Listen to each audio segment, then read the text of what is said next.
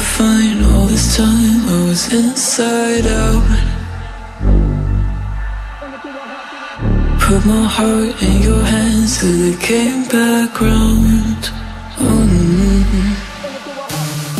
Salam Lenter Indonesia Assalamualaikum warahmatullahi wabarakatuh Di pagi hari yang berbahagia ini izinkan saya menjawab sebuah pertanyaan Berkaitan penggunaan arang untuk tanaman kelapa sawit Karena masih banyak ingin menambahkan di dalam media tanam di tanaman kecamba Di penanaman kecamba Ataupun tanaman baru Ataupun tanaman belum menghasilkan Bahkan sampai tanaman yang sudah panen. Bisa nggak sih Pak Pendi ditambahi dengan arang? Arang banyak sekali. Ada arang kayu arang sekam ataupun arang-arang yang lain. Bahkan memang di beberapa proses eh, penyembelihan hewan itu ada juga tulang yang bisa kita buat arang arang tulang sehingga bahwa kali ini saya akan menjelaskan secara general saja apa sih sebenarnya keuntungan ketika kita menambahkan arang di dalam mekanisme penanaman tanaman kelapa sawit kita.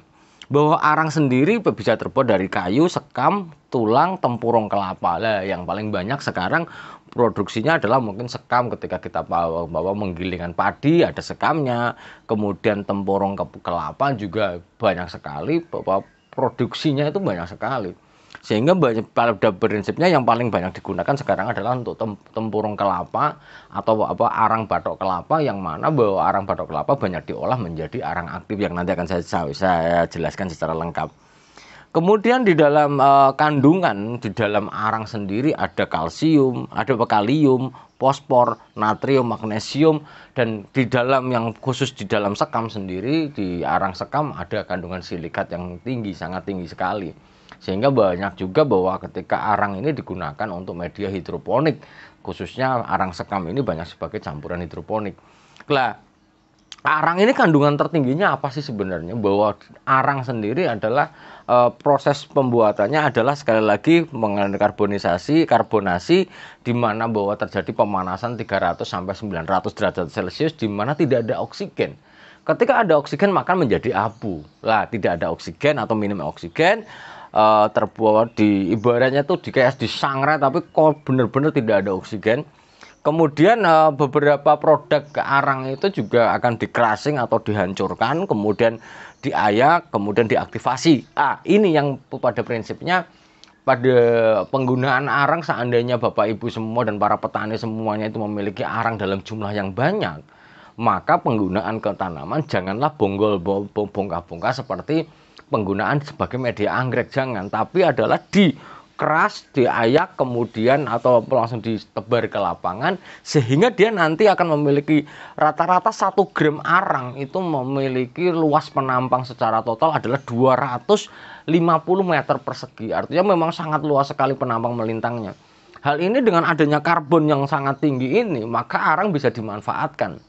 Manfaat utama dari penggunaan arang sendiri adalah terjaba kemampuan arang dalam menjerap. Wah, ini menjerap itu artinya bahwa kemampuan arang untuk e, ketika pemupukan kelapa sawit dilakukan, dia mampu menjerap, mampu mengikat karena bahwa arang atau karbon ini adalah berongga.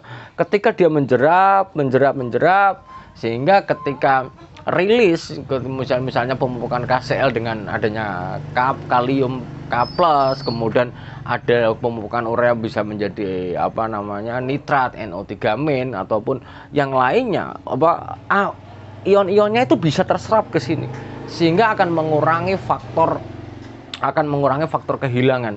Lah ini sangat penting ketika uh, ketika penanaman anggrek sendiri menggunakan arang karena dia pemupukannya juga bisa lewat arangnya juga karena dia bisa menjerapnya itu. Sehingga bahwa penggunaan arang secara umum adalah bagaimana mengefisiensi. Hampir seperti abu. Kalau abu mungkin tidak bisa uh, kapasitas kartionnya sangat sedikit sekali dibandingkan dengan arang ini sehingga jangan kaget ketika ada pernah apa misalnya bekas pembakaran kemudian ada arangnya abunya diaplikasikan akan meningkatkan pH.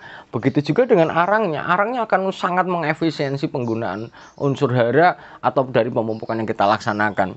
Secara apa e, secara mekanismenya sekali lagi arang yang ada jangan bongkahan diberikan tapi dikeras dulu dihancurkan, diayak, kemudian diaktifasi. Aktivasinya seperti apa Pak Fendi? Kalau memang tidak bisa mengaktifasi ya udah tebar aja nggak ada masalah.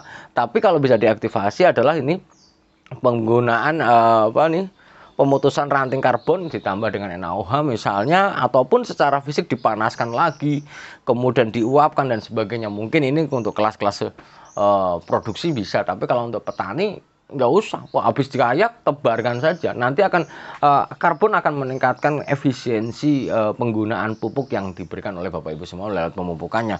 Baik pupuk tunggal ataupun pupuk uh, majemuknya. Kemudian secara apa garis besar ini saya ambil di beberapa literatur bahwa fungsi arang itu yang pertama adalah memperbaiki porositasnya selain sebagai kemampuan untuk meningkatkan kapasitas tukar kation ataupun mengefisiensi penggunaan unsur hara mengurangi faktor kehilangan dan sebagainya. Tapi bahwa karena dia merupakan bahan organik dia akan meningkatkan porositas. Hal ini sangat penting ketika Bapak Ibu semuanya menggunakan uh, media tanah liat atau misalnya lahan kita adalah liat berat yang faktor apa air meresapnya sangat rendah sekali maka di, ini bisa digunakan sebagai untuk meningkatkan pori-pori dalam tanah kita sehingga akan membantu percepatan pertumbuhan akarnya. Karena kalau akar terlalu apa berada pada lahan liat yang sangat berat ya, porositasnya ataupun rongga-rongganya rendah maka dia pertumbuhannya juga tidak akan bagus ini kalau untuk tanaman buah sangat penting sekali ini Kemudian buffer atau penyangga tadi yang saya sampaikan bahwa dia sebagai penyangga karena dia akan akan meningkatkan kapasitas sukar kationnya. Kemudian yang selanjutnya bahwa apalagi ke lahan marginal selanjutnya adalah berada pada daerah pasiran misalnya. Daerah pasiran sekali lagi bahwa yang seperti kita ketahui bahwa pasir sendiri tidak memiliki kemampuan untuk menjerap air dan menjerap unsur hara ketika ada sumber arang yang besar, sekali lagi harus dihitung secara ekonomisnya karena arang sendiri kalau kita beli juga mahal. Ketika ditambahkan dengan arang, maka bahwa kondisi lahan berpasir juga akan memiliki kemampuan menyimpan air karena arang juga serapan airnya sangat besar, kemampuan menyerap airnya juga bentar. Dan yang selanjutnya adalah menyerap unsur hara toksik. Karena bahwa kita tahu sendiri bahwa arang hampir sama juga arang yang misalnya kita apa namanya lagi apa namanya mah atau mencret-mencret itu kemudian kita menggunakan arang sebagai untuk menyerap unsur hara toksik karena dia berongga akan mampu menyerapnya gitu. Sehingga hal ini sangat penting bagi para planter para petani semuanya. Jika memang ada sumber arangnya kenapa enggak kita coba pertambah kita tambahkan ke lapangan untuk meningkatkan kemampuan tanah itu sendiri baik secara porositas, buffer atau penyangga dengan adanya peningkatan kapasitas sukar kation dan penyimpanan air. Ini sangat bagus sekali untuk kita jalan. Namun harus dihitung secara skala ekonominya karena bahwa arang sekam ini ah, arang arang secara umum apa arang kayu apalagi arang kayu yang untuk masak juga sangat mahal sekali ketika kita gunakan untuk uh, pemupukan tanaman kita. Tapi tidak ada salahnya kalau misalnya ada limbah yang apa limbah berupa arang, maka bisa kita gunakan untuk tanaman kelapa sawit kita. Mungkin aja dulu yang dapat saya sampaikan. Semoga Allah memberikan saya, Anda semuanya kesehatan dan kebahagiaan tanpa syarat, dimudahkan jalan rezekinya, dan semoga Allah memberikan keluarga kita adalah keluarga surga ke depannya. Terima kasih. Salam planter Indonesia. Assalamualaikum warahmatullahi wabarakatuh.